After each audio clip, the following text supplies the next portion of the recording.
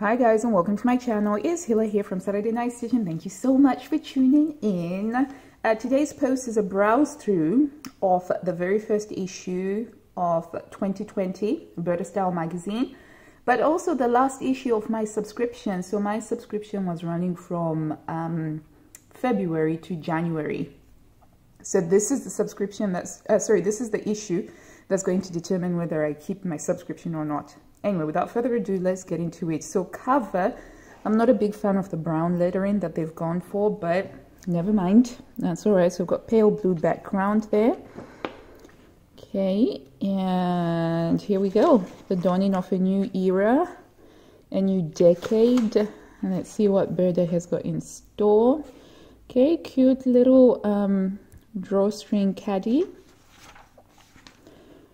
and instructions for how to sew it. And right off the bat, we're starting off with the must-have pattern piece. Um, yeah, and this time they have gone with the cape. So it's a cape, um, and it's got some interesting details. You've got that um, facing over here, and it looks like it's got a concealed button placket, which is quite interesting. I like their choice of fabric, though. They've gone with a camel um, in the tan. So this one's available in size 36 to 46. Pretty cool. Okay, then we've got a pair of culottes with a contoured yoke. Potentially a great pattern, potentially a popular pattern as well. It's got the pleats that give it fullness and they've used the viscose and it's pretty cool. Quite like how they've styled it. And we've got another of um, these sort of like uh, cardigans, uh, but this time it's got the uh, grown on sleeve. This Okay, I'm surprised that this has been given a three dot rating because this looks to me like very simple design lines. Maybe it's because of the fabric that they've used. They've used like a faux suede fabric in a really beautiful deep aubergine. I think that this is possibly going to be something that's popular as well. And then over here we've got dress number 106 and that's available in 34 to 42 and it's got sort of like a curved princess seam line darting and shaping on there interesting look and it's got some raglan sleeves. I'm getting the impression that um Burda like raglan sleeves because they seem to have been popping up these last uh, few months. Then we've got um, your standard generic top with drop shoulders and then they've added uh, voluminous sleeves at the bottom that are cased in elastic. Although you could easily just take off that lower half and you've just got a simple top um, with a facing so they've used viscose crepe for it. Nothing new there. Okay i was quite interested in this skirt. I like that it's got like the paper bag um, waist thing going for it. Plus i also quite like the fabric that they have uh, used. It looks like this is a cotton fabric. And it looks like a chambray, which is uh, pretty awesome. I do love those boots though. Those boots are amazing. Okay, and then we've got blouse number 101. And you can see on there that we've got this opening at the back. Not too big a fan of that opening, I gotta say. Um, but it's got gathering right up at the front, which gives it a blousier feel. And it's got some shaping in the form of darts bust darts.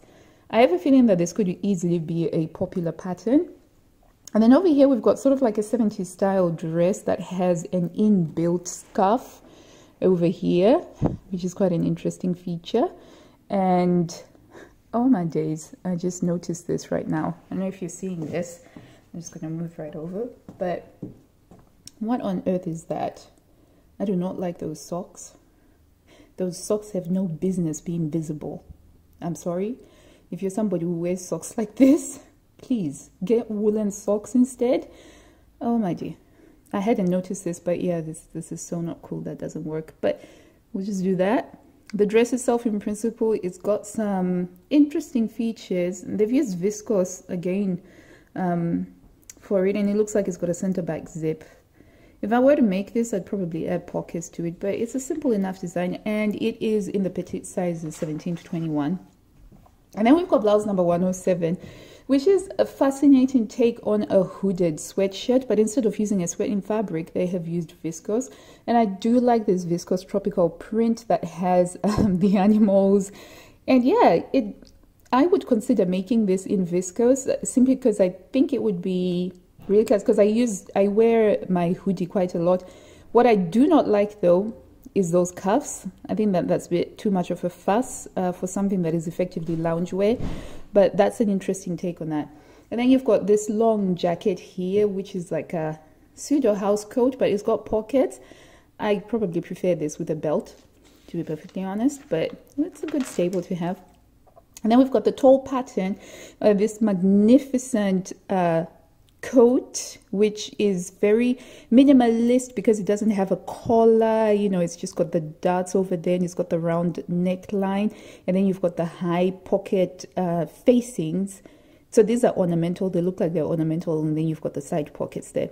And I think that this is a nice coat pattern. Um, yeah, I quite like that. And they've made it in a jacquard. And it's something that I think if I was looking to go outside my comfort zone with making coats, this is the one that I would go for. The featured sewing pattern is blouse number 112, which means that they will take you through all of the steps. I mean, it's an easy one, so that's pretty cool. And then we have this controversial aluminium foil, or as the Americans like to say, al al al aluminum foil jumpsuit. I could not make heads or tails of this when I first saw it because you can't really see the design lines because of the fabric that has been used there. Um, so yeah, it doesn't look very appealing, does it? But when you do look at the line drawing itself, it's got some interesting features as a jumpsuit. I think that in the right fabric, this could be a nice jumpsuit. I mean, just try and picture it in denim. That would be smashing in denim with mustard top stitching on all of those details. But this fabric just did not work for it which is a bit of a shame. This is a four dot pattern which means that this is a you know you want to challenge yourself um, sort of pattern but i would yeah no. Fabric no. Design lines yes in principle. Okay and then we have this beautifully short um, uh, design and I gotta say, I really love what Blasius Erlinger and Anita Bauer have done with this. It's very, it, it stands out. It really does stand out um, against the background. And it's that uh, simple uh, coat with the grown-on sleeves. It's a house coat, really, isn't it? It's, it's just a really nice house coat. And it looks like it's been made in a boiled wool. But yeah, course. And they've used somebody with curly hair, which is very unusual. I mean, and then you've got this dress here, which the line drawing doesn't fit with what you're actually seeing on here. So in the line drawing, it looks like it's quite fitted at the waist, but I am not getting that in the styling picture. Is it the fabric that they have used? Is it the model? I don't know, but there's a bit of a disconnect for me when I'm looking at these two. And it almost looks like, on the line drawing, it looks like this is at the waist point, but I can't see it on here. It, I feel like the waistline is a bit higher because I can't tell. Um, so yeah so I was a bit like mm, I'd be interested to see what's going to happen with this one on the Burda style forums around the world. And then we're back to that skirt again the interesting skirt with the paper bag waist and the belt and this time it's been made in um, cotton sateen uh, gold mustardy cotton sateen and you know it's, it's, it's vaguely interesting I still prefer it in the blue chambray and then we've got a simple, well, it's not that simple. It's a top uh, 115, and it's not simple because you have this insert that you put um, on the sleeve if you wanted to add a bit of contrast and color. And it's a shame that they haven't used a highly contrasting fabric so that you can really see it popping. I'd have probably gone for, say, maybe like solid purple and then mustard on the stripe just to show what that would look like, which is a shame. But I think that this is a great one if you really wanted to showcase um, your fabric in different colorways.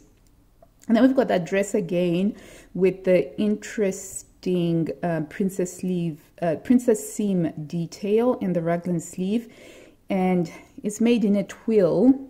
Can't really see much from this, but stunning vistas in the background, absolutely stunning vistas. Okay, and then super easy pattern is pullover number 116. Now this is very similar to sweater dress from January 2019, number 111, in that it's got like this grown on funnel neckline. Which is one of the reasons why I decided against sewing this because I have something similar already that I have sewn up and so I challenged myself to actually sew up something else even though this sort of style, this sort of neckline is right up my alley and I love that. And then we've got those culottes again and you can see how, you know, how wide the bottom of the culotte is and how full that pattern is. So I'm just going to do that to try and get it out of the sun a bit. Sorry, the sun is moving. No, I'm not going to apologize for the sun because it's pretty awesome to have sun. Mm.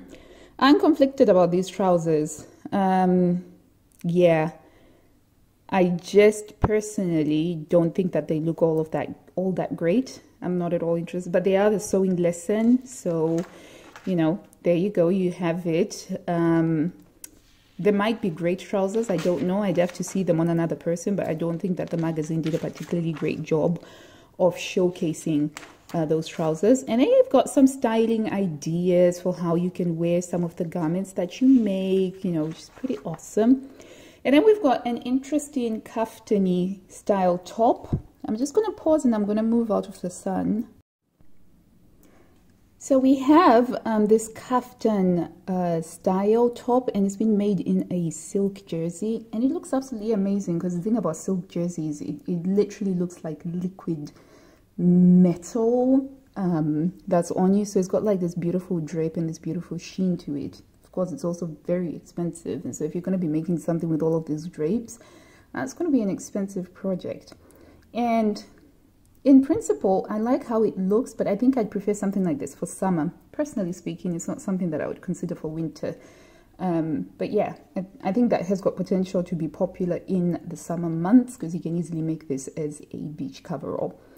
And then we've got that sweater number 117 again, and it looks absolutely fabulous in the French terry that they've made it in and it's a delicate blue color and I just think that it looks absolutely fabulous. I would really love to make this with contrasting um, panels because it's got a contrasting panel over there and another one over there and it looks like it's got a faced neckline as well and it's super easy. I expect that this is another one that's going to be very popular um, in the sewing in the Burda sewing community.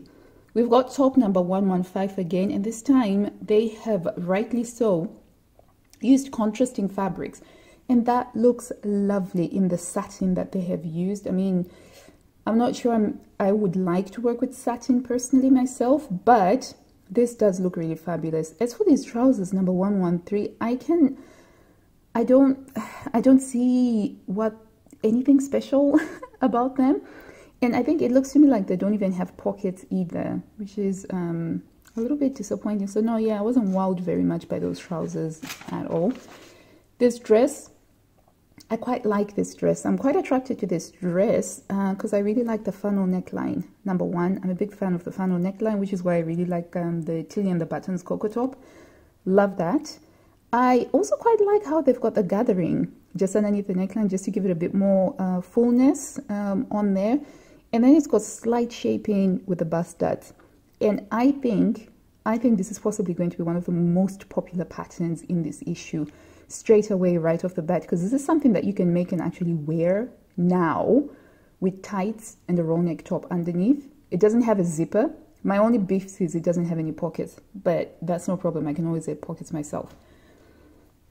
Next up is the top with the hoodie, and this time it's made in satin fabric. It looks all well and good, but there's just something that my uh, sewing brain, my you know fashion brain cannot process, which is having properly nicely turned out um, sleeve plackets and sleeve cuffs with buttons, but you don't have a button band. You know, instead you've got a drawstring. It just it doesn't gel for me. It just doesn't work for me. I I kind of feel like there's no need to go all that way. But that's just a, you know, as usual, a personal thought. And I thought that this parka was a very interesting take on a traditional Mac because you've got the gun flap over there and you've mixed it with, I guess, to me, this is like the love child of, um, of a Mac and a parka. You'd get that really, really beautifully made. Interesting to see that they've used a satin fabric. Um, I don't know what type of satin fabric they've used, but it's not the same sort of satin fabric that I've seen previously. But it's a good look, a very brave choice to make it in white. I would never make a jacket in white, but that's because I have five kids myself. But that's a good one. That, that's a really good one, and it's a three dot pattern. And then we've got the coat again in a lovely, cuddly looking uh, fabric. And yeah, I still think that this needs to have a belt, personally. Oh, if I make that, I would have a belt with it. And then we've got some cute, cute, lovely little kids clothes. I love this dress pattern. This is right up the what I make for my kids anyway. Um, and this one is going all the way up to size 128. Mine are at 122 now. So it's quite nice to have a pattern that's going up to 128 for my twins.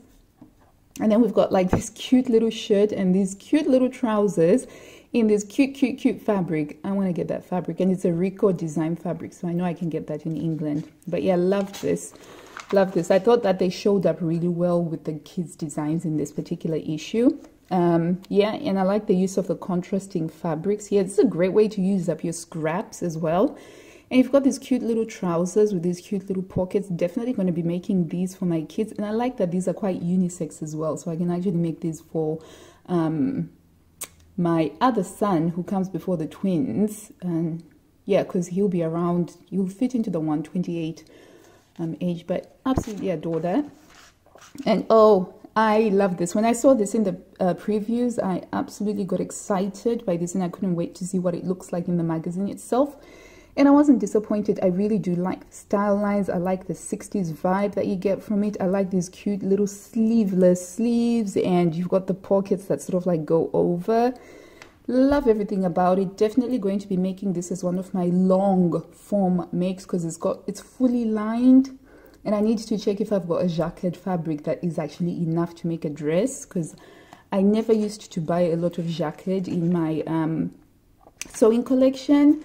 But it might work with something else, mightn't it? But I kind of feel like you need a fabric that is uh, quite substantial so that you can hold those pleats and hold the shape. So yeah, I was very, very happy with this. Definitely added that one to my must make list. Now, I love this jacket. Absolutely love this denim jacket. Um, but what I like about it is, obviously, even though it's got the stylings of a denim jacket, they haven't used denim. They've used um, what looks like an upholstery fabric or jacquardine fabric and that is awesome absolutely awesome. So i've added this onto one of my to make uh, lists. And yeah i really really like that. And for the sleeves it's just it looks like it's got an elastic but that's a great make is that. But when i make mine i'm going to just add some pockets on the side because i do like having my pockets sort of um, go on the side there. But yeah quite like that and then you've got a generic uh, top with a v-neck this time they've just added a zip uh, to it and some little details on the sleeve cuff. And we've got some interesting looking trousers. They're like cargo pants but they've been made with tencel so they just look you know on the super classy side. And they look like they've got an elastic waistband I'm a big fan of elastic waistbands and trousers. They're so comfortable. And we've got another simple blouse top, which has just got like a little bit of a pleating at the front, which you can't tell because they've used a busy fabric, but that's okay. I really liked the fabric on this dress. It's absolutely, it's so, um, even though it's a winter issue, this just cheered me up. It just looks so summery. So I really was a big fan of the fabric. And I think that this is a nice shirt dress um, in principle. And I think um, it's because it's got a like a half placket. What do you call this? It's like a half placket polo neck thingy. But I, you know, I just I like how it looks with the sleeves rolled up and, and and pulled up, and I just thought the whole entire styling of it was beautiful and fierce. And then we've got that top again with the pleated front thingy majiggy going, but you've added grommets to it. This is a nice little feature actually. I might try doing something like that this coming year. And then we've got a skirt, which has got an asymmetrical flounce, you know, it's like this sort of skirts, they always remind me of like, you know, when you're writing cursive, you just don't finish where the A is supposed to end. You finish it with a little loop, and it's kind of like you know, technically speaking, the skirt is supposed to finish there, but no, we're just gonna add a little loop to it, which gives it more drape, more movement. And I think that this is a fantastic fabric that they have used for that because those stripes really emphasize how asymmetrical this design is. So, you know, great styling, whoever did that. And then we've got that jacket again. I love it. Just love, love this jacket. I don't know how, but I am going to be making um, that at some point, but with pockets. Pockets. And then there's a lesson here on how to do a welt pocket because Burda always try to get you covered like that. And so and so, ladies and gents, this is what uh, Burda January looks like. Definitely a lot of patterns that I want to make in there. I've already traced something out that I'm hoping to make um, pretty soon in the period between Christmas and New Year's because that's when my in-laws are around and they help a lot with the kids. And what I did trace was number 108, dress number 108. I'm going to be making that one. I'm going to be making some of these trousers for my kids. I would love to make this sweatshirt here. I know I'd said I wasn't going to make it, but by the time I got to the end, I was like, oh, life is too short. I'm going to make that. I also definitely want to make this um, this vintage style uh, dress, but I have no idea what fabric I could make with that one. So I already know what fabric I'm going to use for that.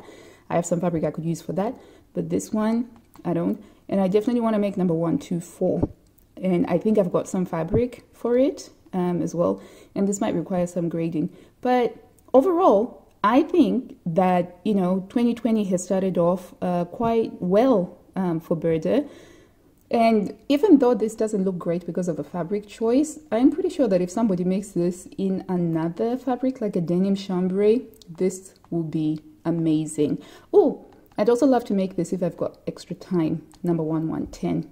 Okay, so that's it guys. I hope that you've enjoyed this and that you found it useful.